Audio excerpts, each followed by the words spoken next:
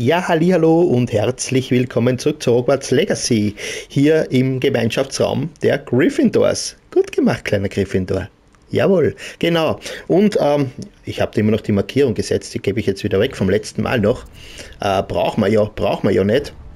Ähm, denn heute geht's ab nach Hogsmeade und ich werde euch kurz zeigen, äh, dieses liebe, nette Örtchen äh, werden wir jetzt ansteuern und ähm, werde hier ähm, einen, ja, eigentlich, ich könnte aber gleich, hm, Moment, machen wir es so vielleicht? Machen wir es vielleicht so? Dann gehe ich hier über Hogsmeade so rein. Geht ja auch. Ich kann es ja machen, wie ich will. Und starten wir so mal rein. Allerdings, ähm, mh, hm. Na, machen wir es anders. Machen wir es so und so und so und ja, Moment. Ähm, schwupp. Da will ich her. So machen wir das. Und dann gehen wir, gehen wir, dass wir nicht gleich äh, mitten, im, mitten im Zentrum sind. Ne? Und in diese Richtung geht's den Weg dann äh, nach Hogsmeade rauf, so wie es sich gehört, ja, wie man auch in der Story gegangen sind, ja, aber da noch ohne Besen. Ja.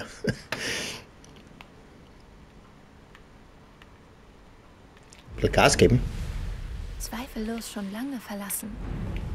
Also wird es überhaupt nicht mehr hell. Aber jetzt, jetzt muss ich wirklich mal, das gibt's ja nicht mehr. Was ist denn da los? Kurze, wird es überhaupt nicht mehr Tag? Das ist ja unvorstellbar. Schauen wir noch einmal. Wahnsinn, ne? So. Darunter geht es zum See. Wir gehen jetzt den Weg, wie er sich gehört. Und da müssen wir genau raufkommen dann. Auch hier eine schöne Aussicht. Aussichtsplattform. Also Plattform, ja, ihr wisst Bescheid. Wisst, was ich meine? Dann immer weiter nach oben.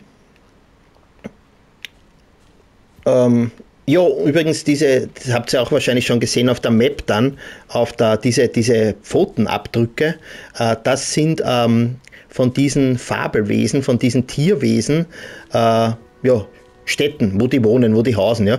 Und die kann ich dann später dann einsammeln, ja. Das zeige ich euch dann alles dann später.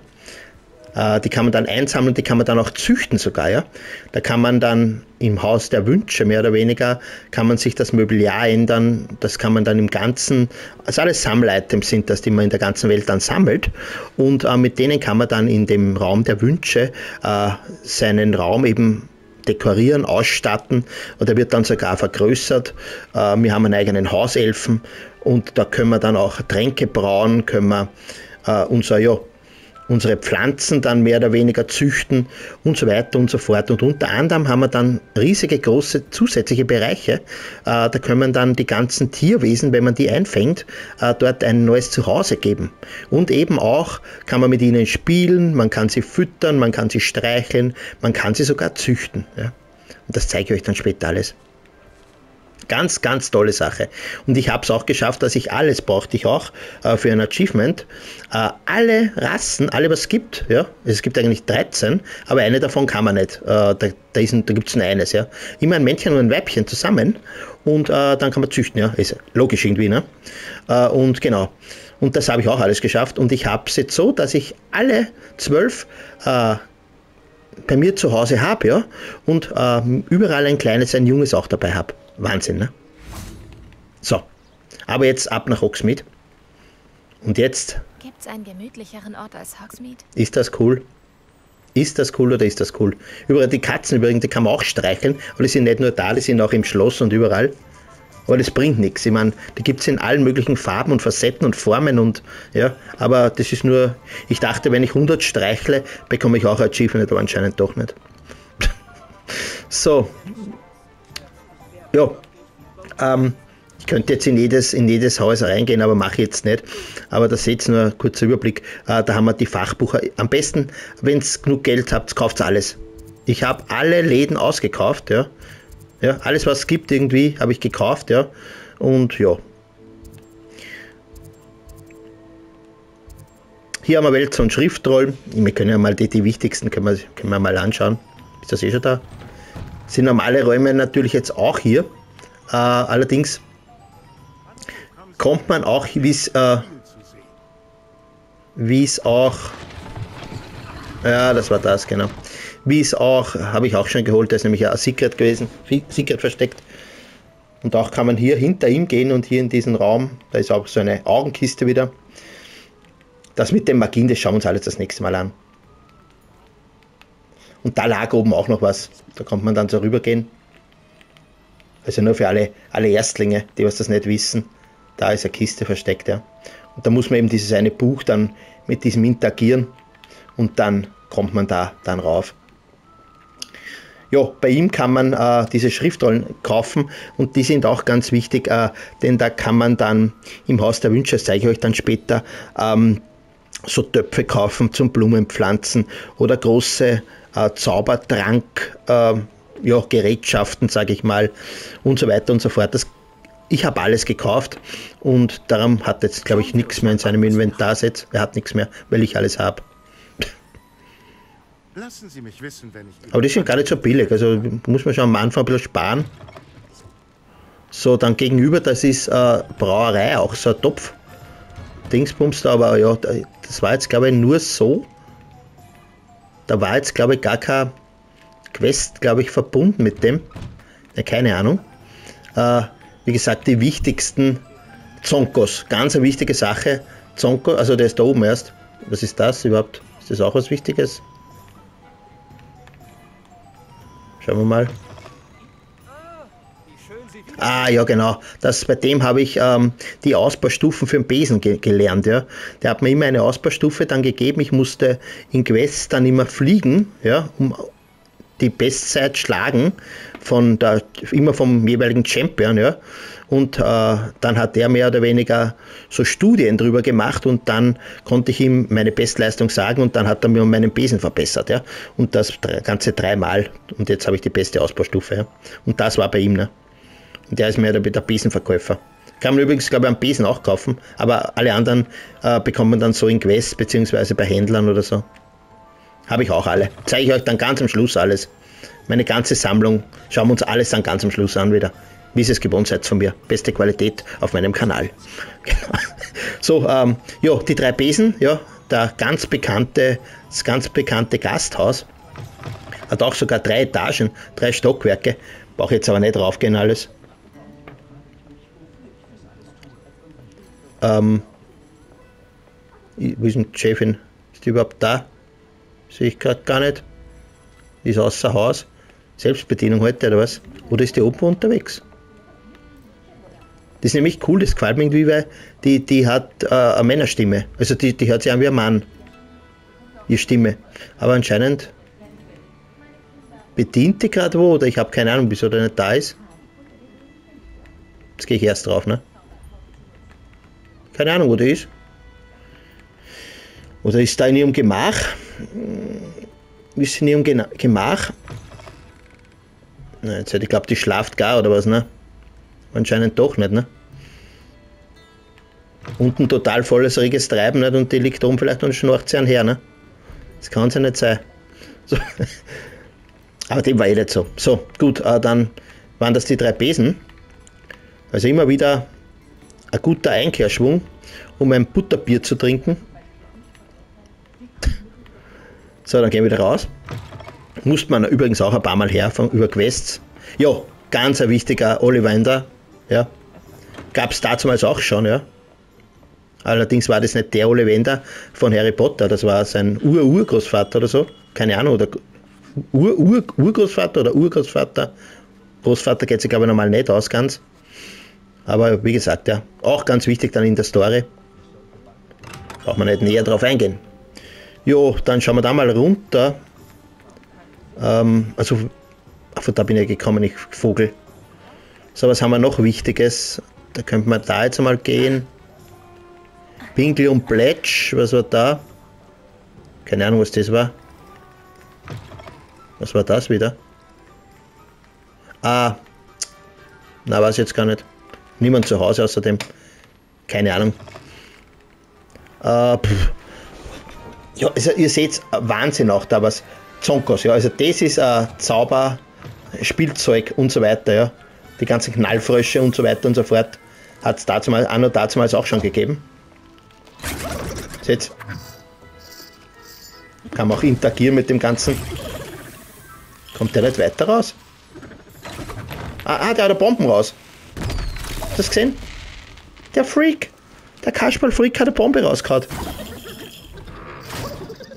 Das gefällt ihm, ne? Okay. Ähm, ja, und die ganzen Knallbonbons und das kann man auch alles da ausprobieren.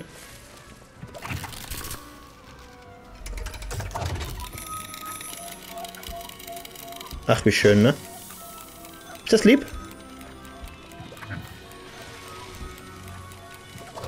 Ja, also ein bisschen Spielerei auch, ne? Ja, und so weiter und so fort, ne? Richtige coole Sachen gibt's da. Zonkos Scherzartikel, glaube ich, oder so wie. Okay. Please don't push. So, was haben wir da?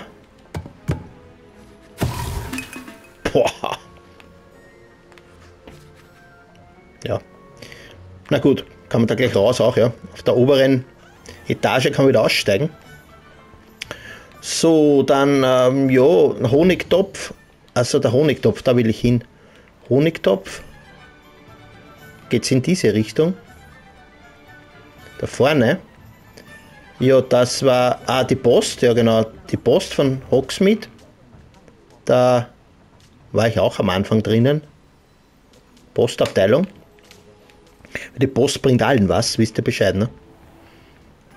So, da ist auch noch ein ganz bekanntes, der Honigtopf. Da gibt es nämlich die ganzen Süßigkeiten. Jetzt, boah, mm, njam, njam, mm. Was ist das? Ein Wahnsinn. Schon cool, ne?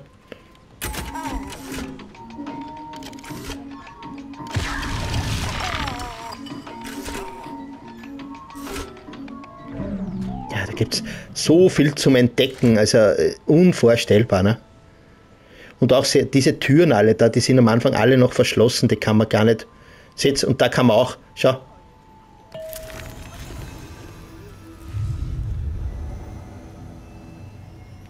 Levitation, ne? Cool, ne? Coole Scheiße, hey. Ist das eine eigentlich auch da? Gab es doch einen, wo es, oder war das, also das ist normale Kuchen und so, das kann man auch alles nehmen, essen. Da kann man später dann auch über diese Tür dann reinkommen. Das war ein Geheimweg. Musste man aber in einer Story auch machen. In irgendeinem, was war das?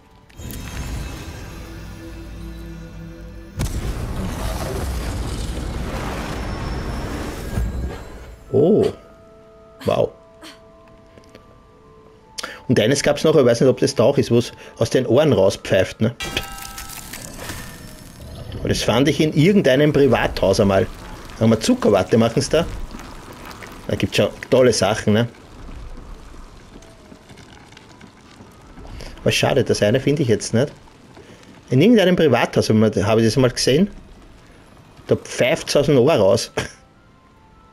Das ist das? War das das?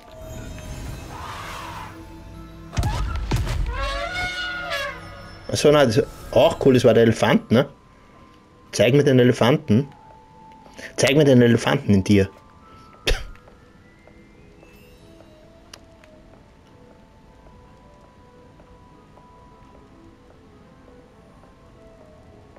Hm. Ja, weiß nicht. Ich da vielleicht nicht. Ich schaue noch mal. Schauen wir da oben noch rauf. Da noch was? Ja, das ist so nur zum Futtern. Njam, njam, njam. Lauter gute Sachen. Jo, ähm. Ja, sei es drum. Egal.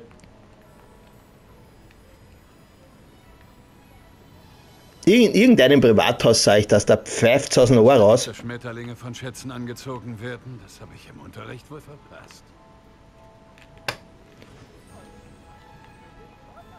Was war das? Ah, das habe ich ausprobiert. Oh ja, das war das, ja. Okay, egal.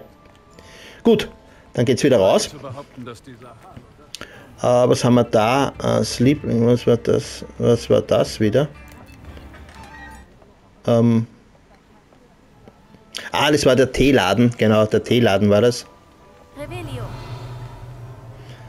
Also, wie gesagt, 100.000 äh, Geschäfte, wo man reingehen kann und ja, in der Story musste man da auch ein paar Mal her. Derbyshire Bangles, das war auch, ähm, hi- genau hier kann man Wäsche kaufen, ja. Hier kann man Wäsche kaufen und so weiter und so fort. Kann man auch interagieren. Ja, also alles, was das Herz begehrt, kann man da, kann man da machen. Und dann später im, im Spiel, allerdings ist es, glaube ich, ich muss mich mal kurz hier wieder orientieren. Ähm, ja, da war's. Da waren wir schon, das war der mit Sportbedarf, das war also die, mit die Besen, Ollivander, da haben wir angefangen. Ja, da drüben, da gehen wir dann hin. Ähm, das war Zonkos Scherzartikelladen, die drei Besen waren wir auch schon. Ja, da können wir zum Coiffeur gehen. Wo sind wir überhaupt? Äh, da sind wir, ja genau, da waren wir gerade. Ähm, da können wir noch rein, da ist Madame Snelling, das ist eine, ein, ein Coiffeur, ein Coiffeur oder ein Friseur. Hm. Ich gebe den Umweg, ne? So, dann war das hier, genau, da könnte man sich ummodeln lassen, ja. Wenn man sich eine neue Frisur verpassen lassen will oder je nachdem, äh, könnte man da bei ihr machen, das könnte man auch. Gegen einen kleinen Obolus. Tolle Sache auch, ne? So, was haben wir in der Innenstadt noch nicht gesehen? Was haben wir Wichtiges in der Innenstadt noch nicht gesehen? Da vorne, ja, Schnabel und Brut. Ähm, das ist äh, dann später für die Tiere, wenn ich dann die Tierwesen habe und zu viele habe, also zu viele, äh, manche nicht mehr brauche, kann ich die auch äh, verkaufen. Ja? Dass ich mein Inventar wieder ein bisschen frei kriege, äh, kann man machen. Zeige ich euch auch gleich. Das ist, glaube ich, das letzte Geschäft da oben, genau. Führen alle Wege nach Hogsmeade. kommen Sie rein. Genau. Verzeihen Sie den Da kann man die ganzen, seht voll süß, ja. Ich habe alle bei mir zu Hause, ja. Ich will noch gar nicht alles herzeigen. Und bei der könnte man dann die ganzen Tiere verkaufen, ne? Wie so ein Tierheim, ne? So, ähm, was haben wir noch nicht? Ähm, da herüben haben wir noch einen Platz von Hogsmeade, ja, Liebe und Söhne, das war das Teehaus, der Honigtopf, das war das mit den Süßigkeiten, haben wir auch gesehen. Ja, da herüben, da waren wir noch nicht, das mal gleich mit Schnellreise jetzt. Der Flohflamme. Der Flohflamme schimpft sich die, Schnellreisepunkte. Reisen wir dort schnell hin. Und äh, genau, da bin ich nämlich immer 100 Mal, glaube ich. Also das war mein, meine Flohflamme, die ich, glaube ich, 100 Mal oder 200 Mal im Spiel gemacht habe. Denn das ist der schnellste Weg hier zum Verkäufer. Ja. Der nächste Verkäufer, ja. Der verkauft Zaubertränke, ja. Aber ich bin nicht zu ihm wegen die Zaubertränke, sondern einfach zum Verkaufen, ja. Den verkaufen kann man bei jedem alles, ja. Und äh, das musste ich am Anfang vor allem oft machen, äh, dass ich wieder ein bisschen einen freien Platz in meinem Inventar bekam, ja.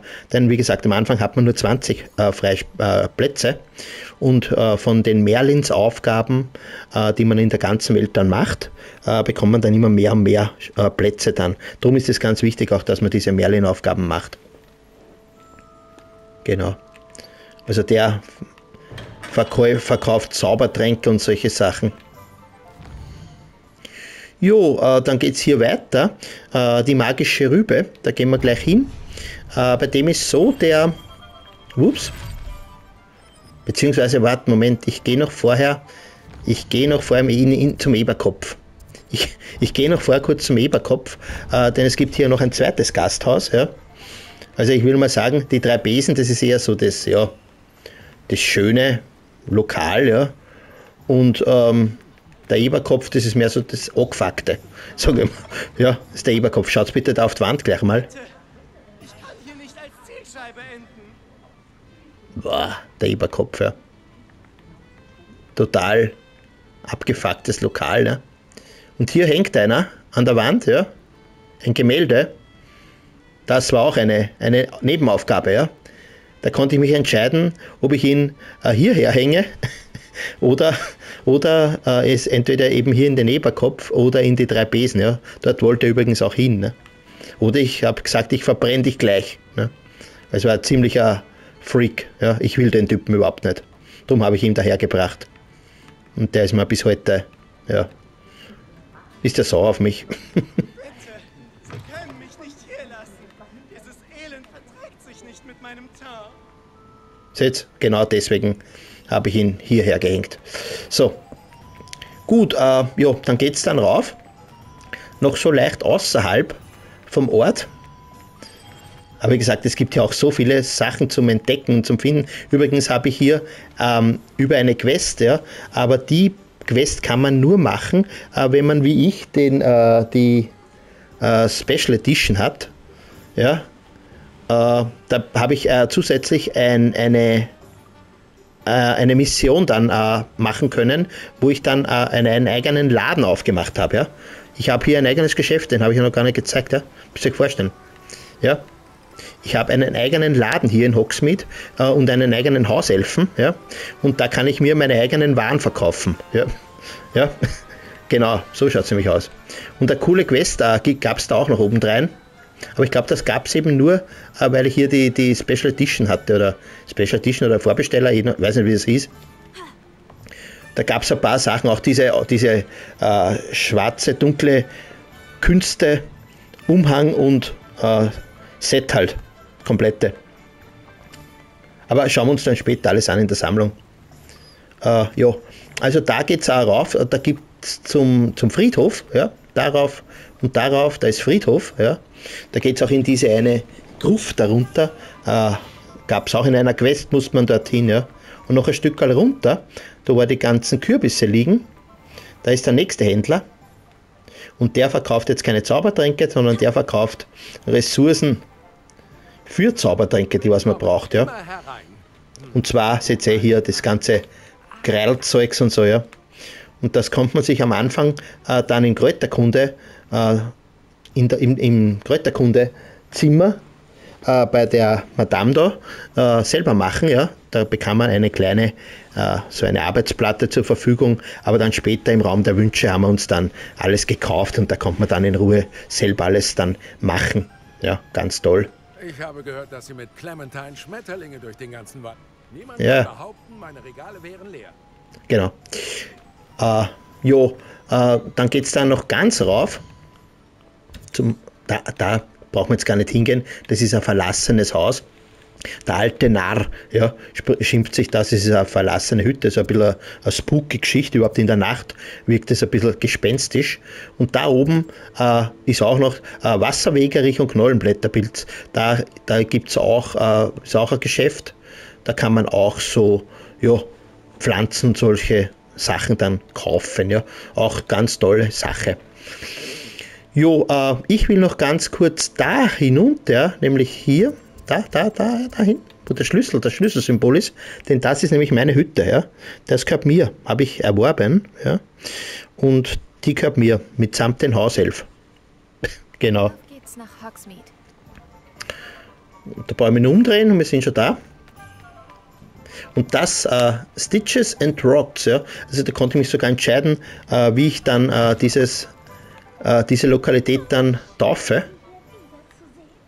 Und da ist mein lieber Hauself, also Elf, Elfin, wenn ich es finde, wo ist denn? Da ist. Ist lieb? Hallo, Benny. Die Benny. Hat sogar die, die. Nein, hat sie nicht, hat sie so ausgeschaut momentan. Hallo. Ich rede mal mit ihr. Seht ihr es? Es das Penny Sie ist auch schon ein bisschen ins Alter gekommen, aber. Da ist mir Zeugs da, aber das ist mir alles wurscht. Ich habe eh 21.000, das ist Wahnsinn, ne? Jedenfalls, äh, die. Äh, und den Hut, den habe ich ihr gegeben, ja. Äh, das ist übrigens ein, ein, ein Schlappohrelf. Ja. Es gibt Spitzohrelfen und Schlappohrelfen. Sie ist ein Schlappohrelf. So, Penny wünscht Ihnen eine sichere Reise. danke. Und da geht's rein und über diese Truhe, ja, da geht eine Leiter runter und da musste ich eine extrem coole Mission machen, ja, eine spooky Mission. Also wirklich, das war wirklich, boah, echt gruselig, ja, will ich beinahe fast schon sagen. Und ich glaube, das kann man nur machen, diese äh, Special-Geschichte, äh, wenn man diese äh, ja, Vorbesteller äh, Special Limited äh, Edition von Hogwarts Legacy hat. Ja. Genau. Jo, äh, dann haben wir eigentlich Hogsmeade einmal so grob, grob, aber wirklich nur grob. Denn hier seht ihr zum Beispiel hier, da ist ein, ein da geht es runter in einen Keller, wo hinter einem Haus in Lolis Keller, das war eine Aufgabe, eine Mission, da auch als Schwinderinnen versteckt, da musste ich auch eine Mission machen. Also ich kam hier relativ oft her, ja, und musste so einiges machen, ja. Auch da oben äh, beim Friedhof, das ist jetzt nicht mehr da, da irgendwo beim Friedhof, was ich euch eh gezeigt habe, da musste ich auch in die Gruft runter, war auch eine Mission und so weiter und so fort. Also man muss hier wirklich sehr viel Sachen machen. Da kommt man oft her. Also ganz, ganz tolle Sache auch. Jo, das war's mit Hogsmeade. So, das nächste Mal ähm, überlege ich, was ich da mache mit euch. Äh, ich habe vor, vielleicht einmal ein bisschen Gameplay mit euch zu machen. Wir werden uns ein paar äh, Gegner holen. Ja, ich werde ein paar zu, äh, in ein paar Gegnerverstecke äh, reisen. Vielleicht von Spinnen bzw. Trolle oder ähm, ich muss mir jetzt einmal anschauen, irgendwelche stärkere Gegner werde ich mal aussuchen und dann werde ich einmal ein bisschen äh, euch äh, alles zeigen, was ich, äh, wie ich so kämpfe und unter anderem auch äh, mit ähm, ja, unverzeihlichen äh, Magien auch. Genau, weil ich ein ganz ein harter bin. Gut, in diesem Sinne sage ich wieder Dankeschön äh, fürs Zusehen, fürs Zuhören und dann hoffe ich, seid das nächste Mal wieder dabei, wenn wir so ein bisschen, äh, so grob einmal äh, über Hogwarts Legacy sprechen und ja, dann sage ich Dankeschön und bis zum nächsten Mal. Macht's gut und ciao.